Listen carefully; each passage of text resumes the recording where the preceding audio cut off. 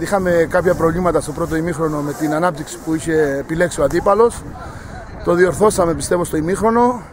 Ήμασταν ε, νομίζω κατά τη διάρκεια του δευτέρου ημίχρονου ειδικά καλύτεροι. Θα μπορούσαμε να είχαμε πετύχει περισσότερα γκολ αν ήμασταν στην τελική προσπάθεια λίγο πιο, ε, πιο ήρεμοι και πιο αποφασιστικοί σε αυτό που θέλουμε και ζητάμε μέσα στο γήπεδο. Ε, νομίζω ότι είναι μια δίκαιη νίκη για την ομάδα μου.